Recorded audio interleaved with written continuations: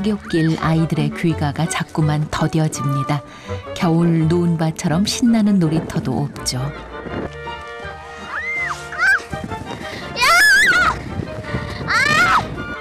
내가, 내가 흙을 넣어서 줄 줄 알아. 고리에 초등학교에 다니는 명희원의 육남매가 집까지 가야 할 거리는 걸어서 40분 남짓. 그러나 해찰할 곳이 한두 군데가 아닙니다.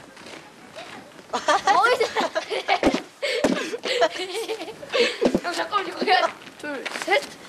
와. 아, 형. 알지를 못해. 눈 많이 와요. 재밌게 놀 수 있어요. 학교 길도 좀 길어가지고 좀 밖에 좀 보고 그러면서 갈 수 있고. 아 싫어요.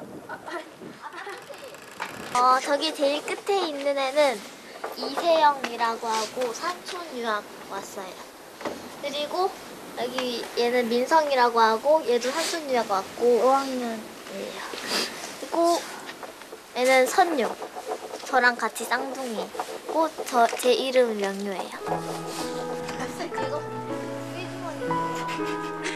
시골 아이들은 더러 햇살이 키우고 바람이 키우고 구름이 키운다 했지요.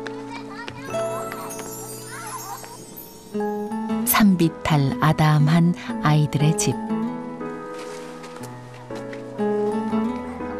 그런데 집에 들어가기 전 또 할 일이 남았습니다. 10개씩 여기 써져 있어요. 들어갔다 나올 때마다 토리토리 도토리 10개씩 까기.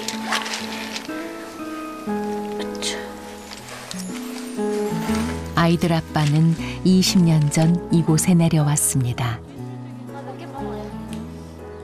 쌈 해먹으면 되겠다. 쌈 된장 해가지고. 응.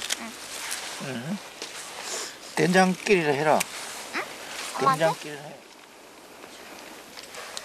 비로 안 치고 그냥 자생력 있게 유기농으로 기르면 겨울에 이렇게 눈이 몇 번을 맞아도 이렇게 안 녹고 안 그러면 녹아버려.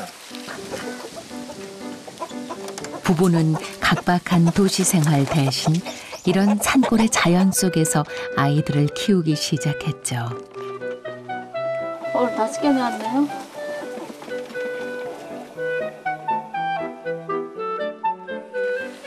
네, 유정란이죠. 예쁘죠? 아이들한테 유정란 먹이려고 이렇게 키워요.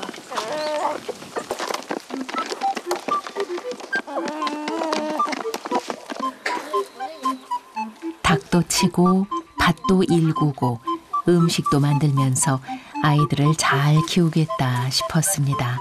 그래서 산촌 유학생들을 하나 둘 받아들이기 시작했죠.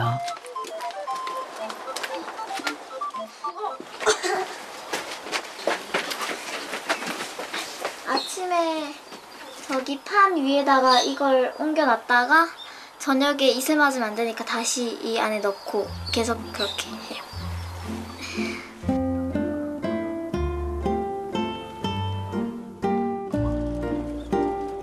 저녁 준비에 한창인 아내 영숙 씨. 언제나 빠지지 않는 음식이 직접 농사지어 숙성시킨 곰삭은 김치입니다.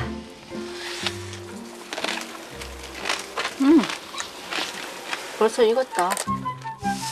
거기에 질경이 나물도 볶아내고 아이들과 같이 담근 구수한 된장 넣은 국에 밭에서 갓 따온 싱싱한 채소들도 빠지지 않습니다. 잘 먹겠습니다.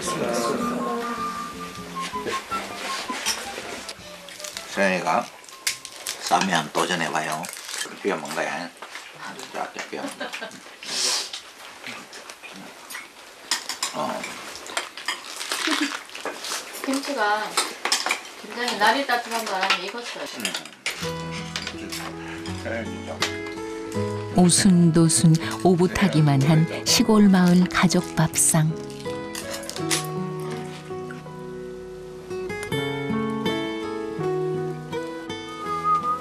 그런데 그게 끝이 아닌가 봅니다. 오, 잘 됐는데. 오. 올라, 말랑말랑한데 즐거우신가 봐요. 사람이 제법 다 도시 생활도 해보고 시골 생활도 해보고 다 한 세상 살아보고 나면은 세상 사는 재미가 별게 없어요 생활 속에서 아이들은 그저 맛있는 몰랑몰랑한 고구마 먹고 착하게 잘 자라고 그게 정말 낙이지 뭐. 딴 낙이 있어요?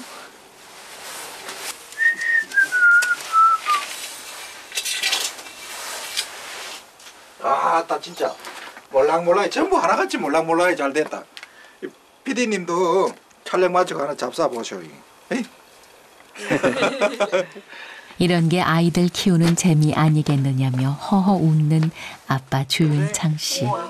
저, 야, 이거 몰랑몰랑하다. 저, 저 요즘 돈 많이 버는 저, 야, 진우야, 하나씩 먹으세요.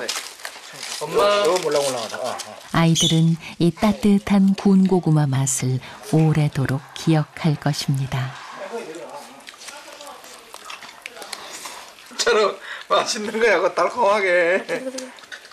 꿀 같아요. 꿀맛이야. 그 맞아, 꿀 같잖아. 그 어디 갔노? 행복이란 게 그렇지요. 큰 욕심 대신 그 자리에 사랑과 아낌을 채워 넣는 것.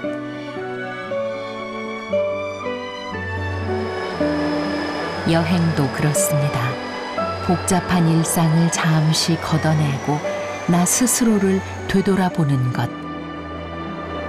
지금 섬진강에 겨울이 한창입니다.